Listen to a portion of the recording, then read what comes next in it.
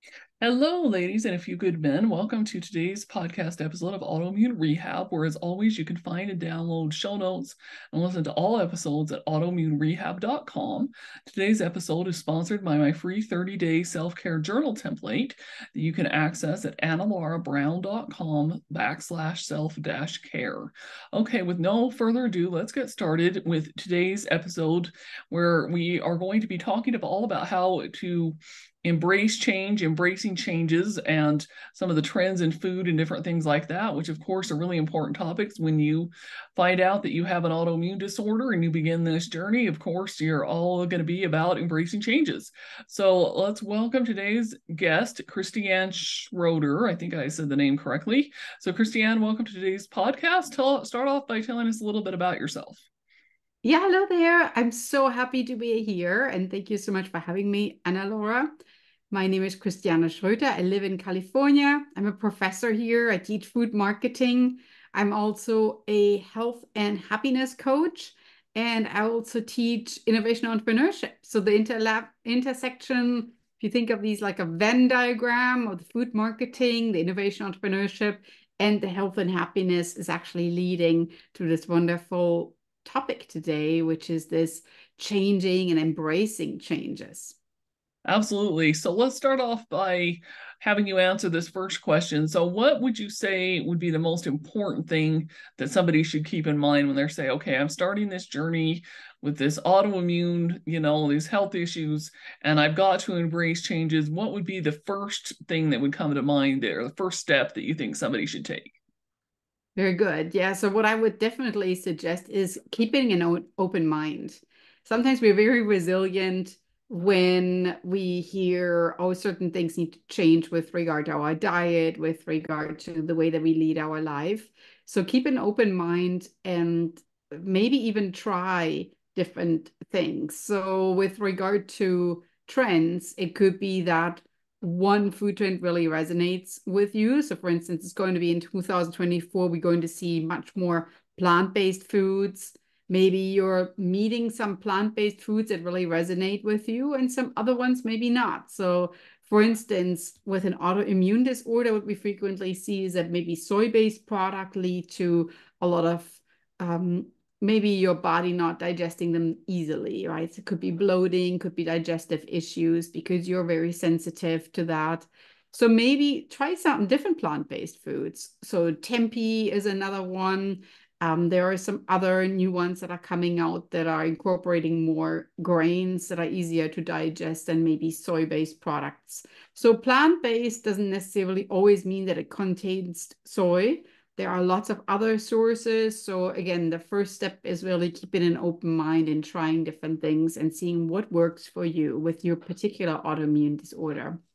Yeah, I love that. That's great. Yeah. And the other thing I find to keep in mind with things like plant based stuff is a lot of times you're better off, and this is true even of gluten free, of grain free, of any kind of diet if you want to categorize it as that especially when you have i mean not even just just autoimmune disorders but especially with autoimmune disorders you're better off eating you know the actual plants themselves the fruits the vegetables the whole foods and not some of this plant-based substitute things or these gluten-free substitutes because a lot of times they're very highly processed. They add soy, like you said, they add sugar, they add all kinds of things into the food that are just really not good for you anyway. So, you know.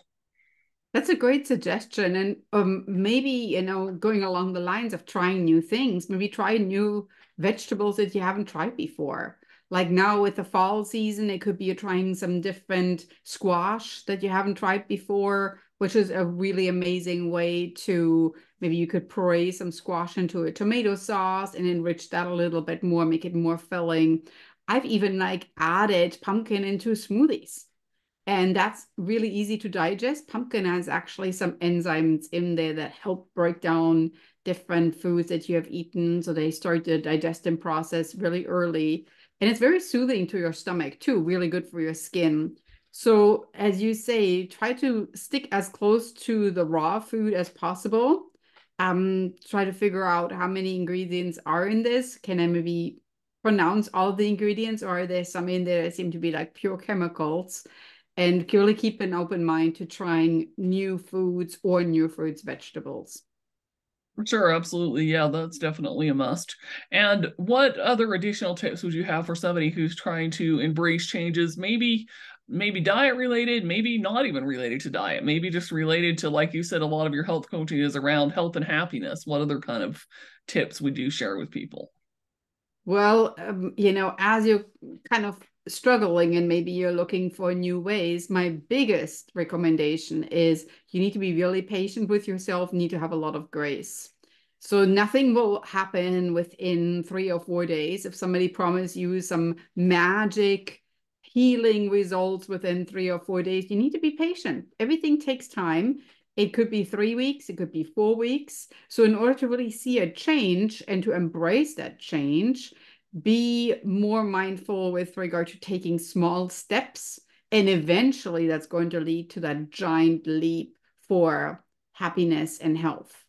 But in general, you know, it's small doses of making changes, and then you will see it.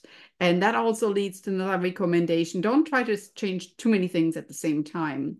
So, for instance, whether that's food related or whether that's workout related, don't start working out every day. That's definitely not a healthy solution right there. And also, don't drastically change your food intake while you're starting to work out every day.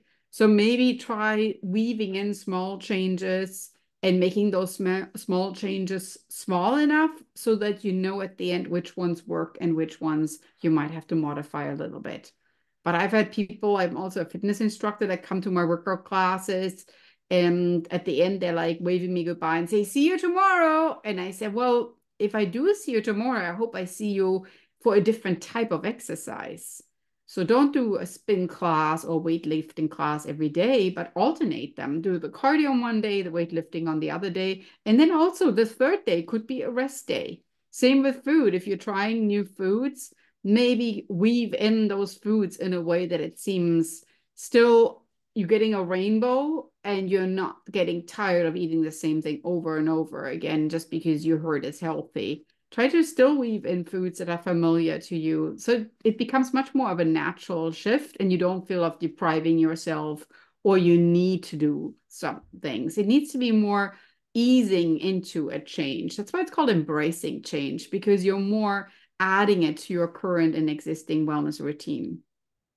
Yeah, I love that for sure. Yeah, absolutely. Well said. It's, yeah, if you try to make too many changes at once, you definitely are headed for the recipe for disaster and having those changes not stick and not become lifelong habits, which is what you want to do. I know for me, when I my as far as my exercise routine goes, I try to rotate between swimming or doing, you know, like aerobic dance and Zumba and walking and things like that rather than just doing everything the same every single day and i found that that works pretty well too. So yeah for sure absolutely. Yeah i always say to my clients think about the food and the workouts but also your mindfulness which is another important tip that we have instead of um you know just there's this one thing that you can think of oh when i work out i have to think of this particular thing. There's so many different options out there. Why, which is why this episode is very good, you know, with the title Embracing Change. Try to broaden your horizon a little bit because there might be things out there you haven't heard of in terms of foods or workouts or even mindfulness that will really help you and learn something new because at the end it's just about learning new things but also learning about yourself what really works for you Absolutely, yeah. And so, talking about the topic of mindfulness a little bit, you know, I've addressed that a little bit. I've had other guests mention that. What would you say is your biggest tip when it comes to embracing mindfulness? Yeah, I get that question all the time because I am a health and happiness coach, and I frequently have completely overworked entrepreneurs that come and they say, I don't even know how to be happy anymore. I totally lost the ability in my in my in my life where I'm feeling something gives me joy. So what can you do to do that? And then I'm I'm basically kind of coming back to the drawing board and I have some worksheets that we go through and that basically we try to figure out all right so when you think of joy right what do you immediately associate that with okay maybe joy is associated with family or with friends So what do you do with them? Or maybe you're getting together for a dinner or you're getting together for games. So which of these elements could we weave back into your life that would do that? So mindfulness frequently is just associated with taking time out from stressful activities you do on a daily routine and coming back to something that really fills your cup. So you can't lead your life with like a half full, or if you are a more pessimistic oriented person with a half empty cup. You really have to fill your cup in between. You need those time outs for yourself to kind of withdraw if that's what you need and read or journal or meditate. Or if you are frequently by yourself, maybe go into the social setting. So we all need that. And that's so important for the rest of our life and kind of like enriching it. So sometimes people say, well, when I think of mindfulness, I think of meditating, and I tried that and it really didn't work. Not necessarily. Mindfulness just means that you focus on something that sparks joy and you focus on something that you feel resets where you are right now in terms of your stress response. And that is that could be so many different things. It could be drawings or creative things. It could be, you know, your cooking it could be that walk or the workout, etc. It could be journaling. So a very much of an activity that kind of like just lets out what bothers you, just putting it on paper. And I like to put the pen on paper situation. Uh, mindfulness is also could just be laying still and enjoying just the sounds of nature or enjoying your breathing. So trying like some breath um, exercises. So it it basically is just it's an activity that typically is very different from what you usually do. So when I say, for instance, a crossword, I don't expect that you go to the computer and you Google crossword. I would actually like that you do a crossword that's maybe on paper or maybe on your Kindle or something. So it's away from where you get maybe distracted with emails and notifications, etc. That's mindfulness in a nutshell.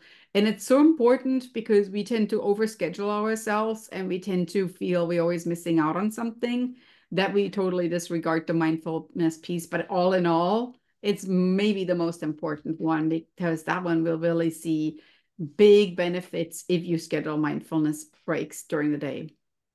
Absolutely, for sure. And I think from a lot of the research that I've read and from people I've talked to, and from even my own experience, I've noticed that not having any kind of mindfulness practice, just kind of getting overstressed, overworked, when you, you name it, is at the root cause of why a lot of people end up with autoimmune disorders.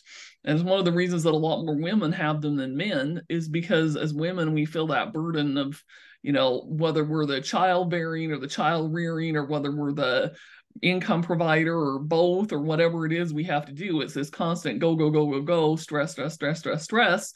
And we do it till we can't take it anymore. We don't engage in mindfulness. We're not thinking twice about what we're doing and how we're living our life. And then boof, we end up with an autoimmune condition. And it's like, oh, whoa, wait a minute. and that's when we get forced into slowing down. Completely. And it actually relates very well also to sleep.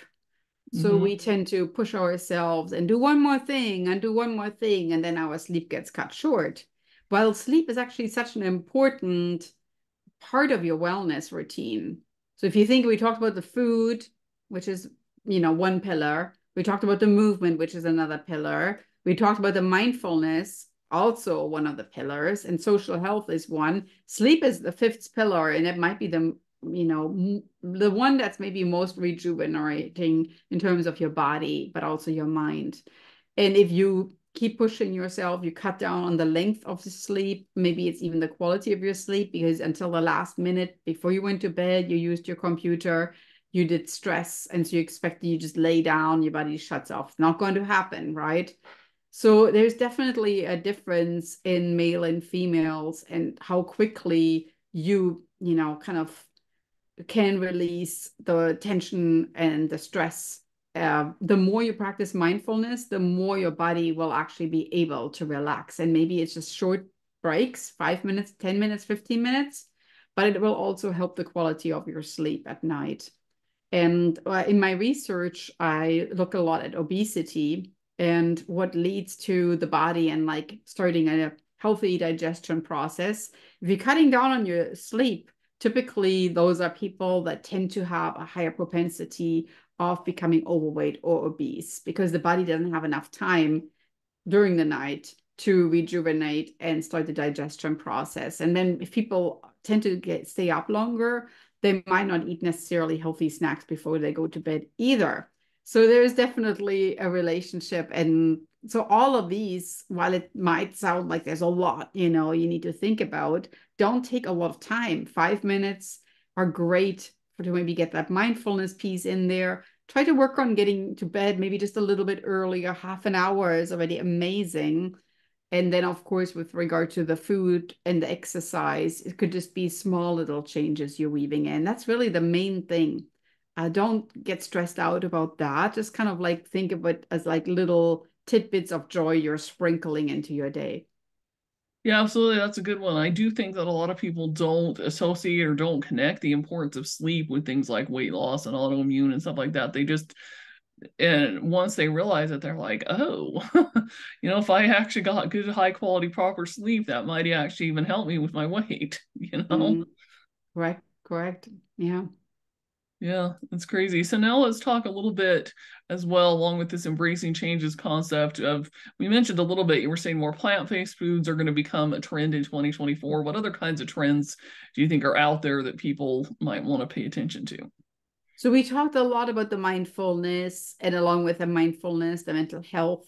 So a lot what we're going to see also is going to be embracing mushrooms more. And that is like the mushrooms you can just buy from farmers at the farmers market, which is what I do here in California. So I purchased, for instance, a lion's mane mushroom at the farmers market or blue oyster mushrooms. And those might be mushrooms you haven't seen before where you're kind of like used to like the general flavor of them. A lot of them go with our first trend which was that plant-based eating. They might taste very similar to say like um, a seafood or more like a meaty substance. And that means you can add those mushrooms when you for instance like quickly bake them in a pan. This is what I usually do. You can add them on top of a salad or with a vegetable to kind of maybe substitute them for a meat that you typically use. And that's kind of what you brought up, Anna Laura. It's a very natural way of substituting something in that's not highly processed. It's something that you might not have tried before. But there's also a lot of research that shows these mushrooms have immense focus power where they can really help you um, enhance your mental ability. And there's actually mushrooms that might calm you down, so they reduce your stress response, and other ones that more add focus. So I like lion's mane a lot. It looks actually, it's a white mushroom, and it looks a little bit like um, a brain, and that might help you know to remember that they are really good to enhance your mental power and your focus. And there are other mushrooms that might be more like for easing tension and calming down. So chaga is um, also a good ingredient right there. They might help you more in like, you know, in the evening when you're winding down.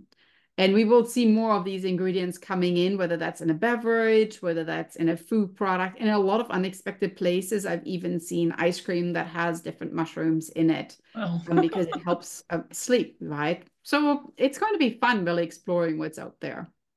Yeah, that's interesting. Yeah, I've heard of things, you know, like mushroom teas, mushroom coffee type products, yeah. things like that. But mushrooms and ice cream is interesting. Hadn't heard of that one, but a lot of times, um, you know, the flavors are quite pleasant, and it's something that if you think of ice cream, typically there's a lot of sugar in there, which is not necessarily beneficial if you have an autoimmune disease. And so having maybe some more beneficial factors like the mushroom in there will kind of maybe allow you to reduce sugar content and it will make it much more of a healing food item, which is amazing if you think of ice cream that way. Oh, absolutely. Yeah. And mushrooms in and of themselves are really high in selenium, which if you have any kind of a thyroid problem, like with me where I have a Hashimoto's, I like to eat mushrooms pretty frequently and I find that that really helps with that high selenium count too. So that's always really good too. Correct. And vitamin D, which a lot of females are deficient in vitamin D. So they will help with that as well. That's awesome. That's interesting. Okay, so anything else that you would like to share other than of course, you know, we'll include your contact information, how people can get in touch with you. Anything else that I didn't talk about that you think is important to share with people about this concept of embracing changes?